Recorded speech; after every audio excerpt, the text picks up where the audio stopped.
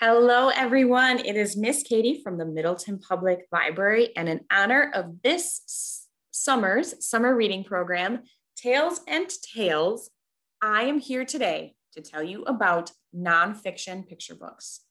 Now, nonfiction books are true books, books that contain facts.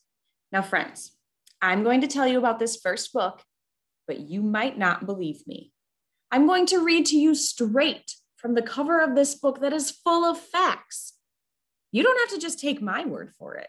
You can check this book out and see for yourself if I'm telling the truth or just making things up. Are you ready?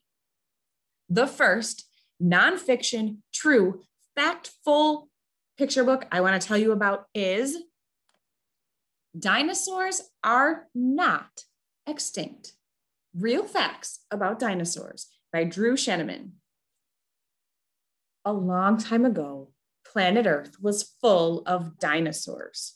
Giant dinosaurs that ate plants, meat eating dinosaurs that walked on two feet, dinosaurs with armored frills, all kinds of dinosaurs, until an asteroid appeared in the sky. A big one, a hot one, a moving very fast one.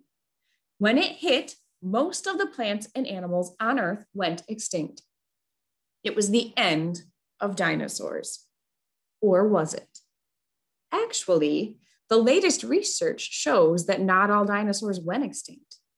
You've probably seen dinosaurs at the park, eaten dinosaurs for dinner, and maybe even cleaned dinosaur poop off of your family's car. Check out Dinosaurs Are Not Extinct to find out what dinosaurs might just have survived that asteroid.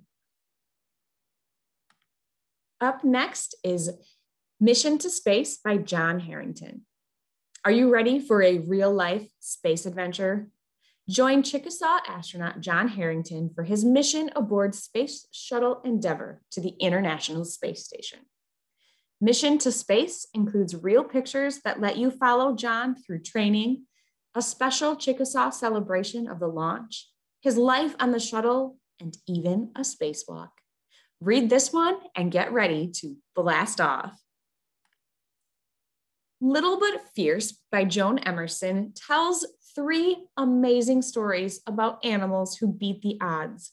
Vera, a tiny French bulldog born with a cleft palate. Cody, an alpaca born a third of the size of usual alpacas and Caramel, a squirrel who had to have two of his legs amputated. Each of these tiny, strong animals had to overcome huge obstacles in their lives, but were tough enough to make it through anything. Grab this one to read each of their amazing stories. And last but not least, What Do You Do If You Work at the Zoo by Steve Jenkins and Robin Page. Okay, I, know it's probably too soon for you to be thinking about this, and it's summer, so it's the last thing on your mind. But what do you want to do when you grow up?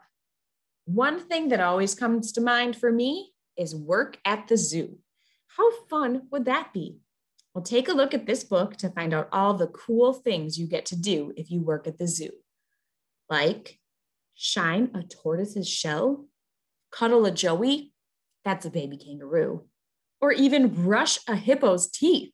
Yikes. If that all sounds like fun to you, you'll love What Do You Do if you work at the zoo?